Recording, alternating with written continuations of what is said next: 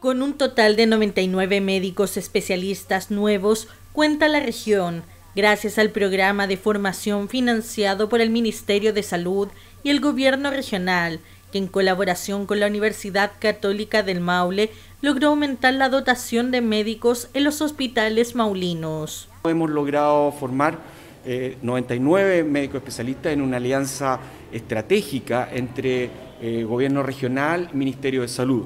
Tuvo un costo aproximadamente de 11 eh, mil millones de pesos, de los cuales poco más de la mitad financió el Ministerio de Salud y el resto lo financió el gobierno regional. Culminamos esta, esta formación de 99 especialistas, los últimos, el último ya acaba de egresar y están prestando, todos ellos están prestando servicios en nuestros establecimientos.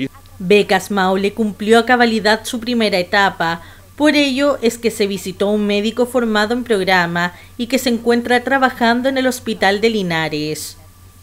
A la fecha nos han llegado 11 especialistas por becas Maule desde el año 2016 a la fecha, eh, en distintas especialidades, traumatología, dermatología, psiquiatría, cirugía, pediatría, eh, entre otras. Y eso nos ha permitido poder aumentar nuestra capacidad resolutiva y anestesia, por supuesto, con la doctora Baeza que también se incorporó a nuestro equipo. Por lo tanto, eso, insisto, nos ha permitido poder dar resolutividad en listas de espera, en cobertura de atención y sobre, todo en satisfacción usuaria y también en la gestión propia del hospital que nos ha permitido complejizar la actividad clínica, quirúrgica y también de atención ambulatoria.